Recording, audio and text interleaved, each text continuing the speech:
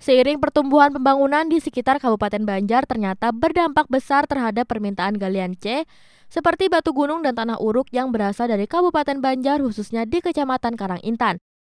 Hal itu ikut berdampak terhadap pendapatan asli daerah bersumber dari pajak mineral bukan logam dan batuan atau MBLB dalam beberapa tahun terakhir.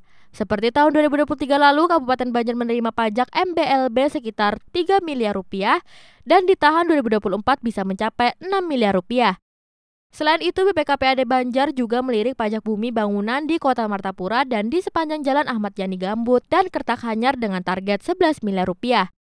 Kemudian juga ada biaya perolehan hak atas tanah dan bangunan atau BPHTB yang didapat atas perolehan hak atas tanah dan atau bangunan menjadi 40 miliar rupiah. Ada dua yang uh, kita apa namanya unggulkan ya dalam uh, proses penilaian progresnya. Yang pertama itu BPHTB. Jadi BPHTB ini memang menjadi salah satu uh, jenis pajak andalan yang kita kelola. Kita bekerja sama dengan BPN dalam memanfaatkan zona nilai tanah itu sejak tahun 2023 PKS dengan BPN.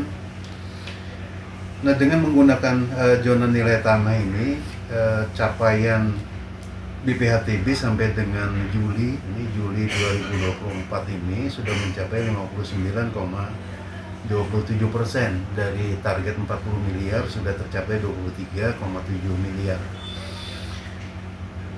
Nah pengembangan ZNT ini eh, kita maksudkan juga untuk apa namanya transparansi dan eh, kejelasan pengenaan pajak terhadap wajib pajak yang melakukan transaksi jual beli tanah.